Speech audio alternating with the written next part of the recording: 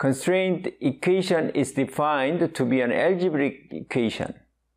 The constraints impose relationships among the generalized coordinates. There are two types of the constraint equations. One type is the kinematic constraints coming from the geometric conditions of a joint connecting two bodies. The other type is the driving or motion constraint coming from imposing a time-dependent condition on a specific generalized coordinate. They are denoted by superscript k and d. Combining these two constraints gives the following constraint equations.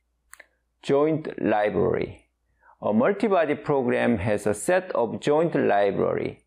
The joint library include revolute joint, translational joint, Campbell joint, and many more. Revolute joint, position level constraint. Let us take a look at a revolute joint as an example. I'll show you how we can formulate the revolute joint for the corresponding algebraic constraint equation. A revolute joint allows relative rotation about point P that is common to bodies 1 and 2, as shown in this figure. Since point P must be coincide, the vector additions to locate point P must be equal. Therefore, the constraint equation becomes like this. Revolute joint, velocity level constraint. The generalized coordinates are substituted into the constraint equation to obtain the following equations. Taking the time derivative of the constraints yields the following velocity level constraint equation. Here, the partial derivative of the orientation matrix A with respect to the angle theta is obtained as in this equation.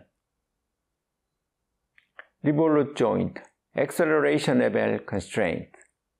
Taking the second time derivatives of the constraints is the following acceleration level constraints. Gamma in this equation is a term containing velocities. A four-bar mechanism. Let us consider an example model consisting of three bodies and four revolute joints. There are nine generalized coordinates, three from each body. There are eight constraints 2 from each revolute joint. As a result, the system has 9 minus 8 equal to 1 degrees of freedom. Constraint for the four-bar mechanism. The constraint equation for the four-bar mechanism can be developed by applying the standard constraint of a revolute joint as follows. In addition to the kinematic constraint from the revolute joints, a driving constraint is added to impose a time-dependent condition on the revolute joints.